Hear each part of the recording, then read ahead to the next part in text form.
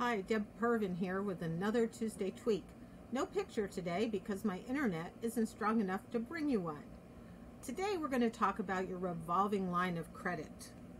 It is my recommendation that this is something you get. If you're bankable, a revolving line of credit is necessary during to navigate times of uncertainty. It just gives you one more resource to make sure that you have the cash you need to continue to run your business successfully during uncertain times, which we certainly have right now. What do you do? You need to be prepared. The first line of business, piles of cash. I know piles of cash are hard to do, especially when you're growing a business and you're your capital is limited, your resources are limited, cash is probably limited as well, which is why a line of credit is such an important tool for you to consider. Yes, it's debt. I understand that. But it performs like a credit card, and small business owners are seems very content to use their credit cards, and that's what a line of credit is, but it's a lot less expensive. They will charge you an annual fee, but it's interest only. Now, the trick is that you must be disciplined. So usually you use your line of credit for working capital. What does that mean? When you're waiting to collect your accounts receivable, let's say you complete a project for one of your clients and they pay you in, they're supposed to pay you in 30 days, but they pay you in 60 days.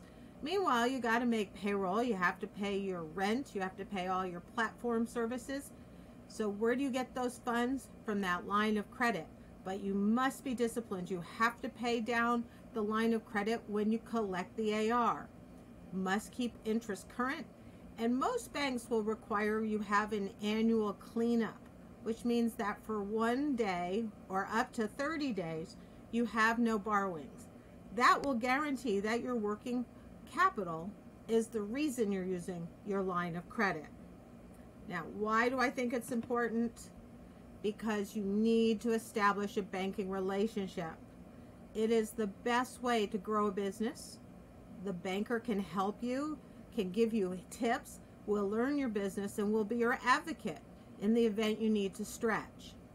And having a line of credit, a third party uh, credibility, that you are credit worthy, that you run a smart business, you run a good business, and a bank is willing to lend you money. Therefore, vendors and customers will think more highly of you.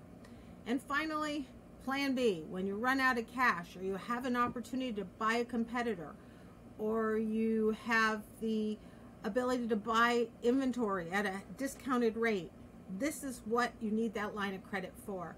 Just take advantage of those opportunities or keep yourself afloat while things go wrong, like your clients don't pay you on time or your supply chain is way late.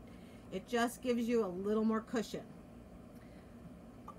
Please call me, ask me any questions. I'm happy to answer them.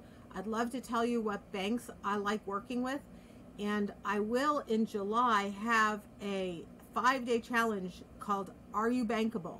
So keep your eyes peeled for that. Thanks for your time today and I'll look forward to seeing you next week. Bye-bye.